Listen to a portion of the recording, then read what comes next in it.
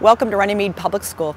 We're here in the heart of the city of Toronto, Canada's largest city. My name's Hilary Inwood and I'm an educator at the University of Toronto, but I've also been a parent volunteer here for the past 13 years. I've been working alongside a really dedicated team of parents, teachers and children who have helped transform the schoolyard into an amazing outdoor classroom. I've been working on environmental artworks with the children over the last few years and I'm going to share those with you today. This garden stone pathway was created as a way to deal with a local environmental challenge. It was created by 175 grade 8 students in teamwork with artist Lois Dellert. And they created these concrete stones as a way to direct children to walk on this part of the garden. This whole raised bed is full of trees and the tree roots are getting compacted by children running over top of them.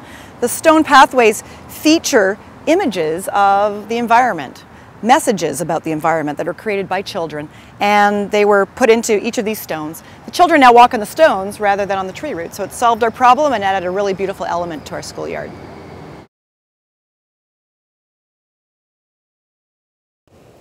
We're here in the kindergarten, which is the newest part of the Runnymede schoolyard. It's a lovely area that's dedicated to primary learners, kindergarten to grade three. It was specifically created with uh, one of the key concepts of kindergarten in mind, the five senses. And this underlies uh, some of the fundamental learning that happens in our kindergarten classes. Uh, all of the plants in the garden have been selected to respond to one of the five senses, though many of them respond to more. But we're also growing art in this garden, not just uh, plants, and the art also supports those key concepts. On the one wall, we've got a whole series of uh, birdhouses and birds that have been painted by kindergarten children. They're also painting with plants in this garden. In the springtime, it's full of spring flowers, daffodils and tulips that the children have planted themselves. And then we've just had a new series of paintings that have been added that each celebrate one of the five senses, again, created by the kindergarten students. So this really has become their space and they're going to grow right alongside it over the years.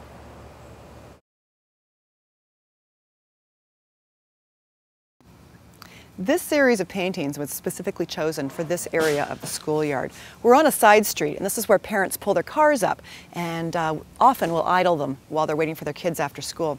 This grade six class was uh, really careful in their uh, choice of putting the paintings here. Some of the paintings contain messages about anti-idling to remind parents to turn off their engines.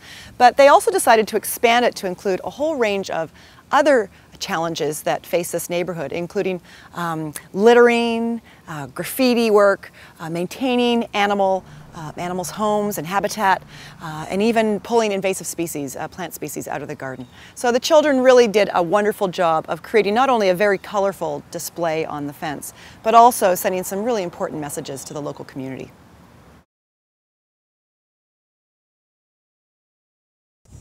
I thought you might like to see the art gallery we've got in the back of the school in our adventure play yard, which is a, a part of the yard that's focused for young learners.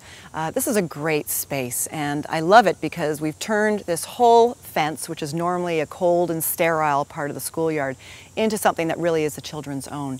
They were uh, encouraged to go into the naturalized part of the schoolyard, which sits right behind this fence, and observe seasonal changes as part of their science and their art classes. They made sketches and drawings, and then they turned those drawings into uh, paintings that are done on cedar fence board with exterior latex house paint, so it's a very inexpensive art material. And we've then popped these up with fence ties onto this fence. It's a lovely way to turn what can be a relatively cold schoolyard into something that is the children's own. So let me show you an example of graffiti. Graffiti, sometimes also known as knit bombing, is a way to draw attention to objects in the everyday world that people would normally not pay any attention to. This was made by a grade five class and their teacher. Uh, the teacher every year taught her students how to knit, but we put our heads together a couple of years ago and decided we'd try knitting a tree sweater.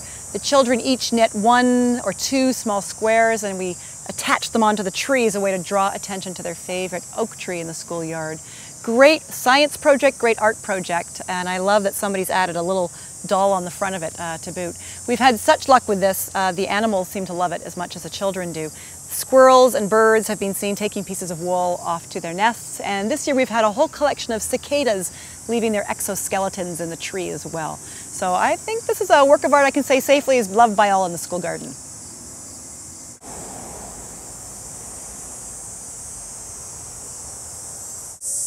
So we're in the school's butterfly garden.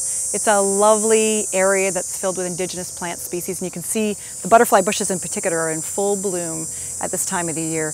And it was meant as a way to study butterflies as part of the science curriculum.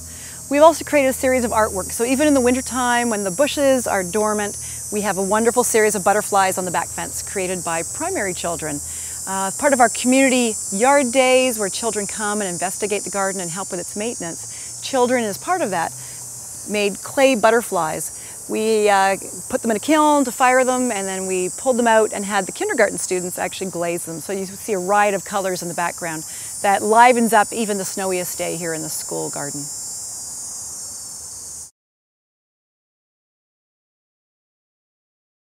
So welcome to the Peace Circle. This is a really uh, beautiful part of the schoolyard that was created to make a quiet, contemplative place for children to play to have conversations, to sit and enjoy nature. Uh, in this circle, we have a number of rocks for seating purposes, and each one has been inscribed with the 10 traits of character education, words like respect, empathy, and kindness, all words that we need uh, in our lives in order to create positive environmental change. The circle involves three trees that will grow. They're very small right now, but they'll grow to incorporate a beautiful shady area for children, really important on schoolyards.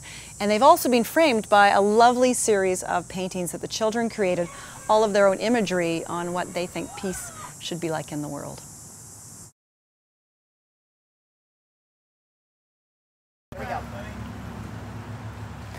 This mural was created as a little way to bring the naturalized school garden at the back of the school into our sports field on the front of the school.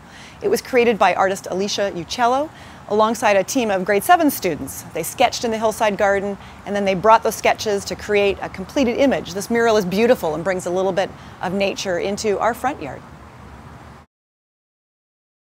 What I've shown you so far in this video are just some of the environmental artworks in this schoolyard. Some are permanent installations, like the 250 leaves in the Acts of Green pathway that encircles the school. And others are temporary, like the medieval garden artworks or the sky garden, all made by primary children. What all of these have in common, however, is the hope they embody, that through this collaborative and ongoing exploration of their local environments, the children involved in the creation of these artworks will develop deep and long-lasting connections to all forms of life in the places and spaces in which they live and learn.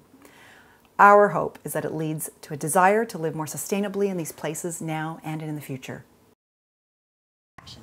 It's been a joy for me to work on this schoolyard over the past decade alongside children, teachers, and parents working on these environmental artworks. I hope some of these ideas are ones that you can implement into your own schoolyard too.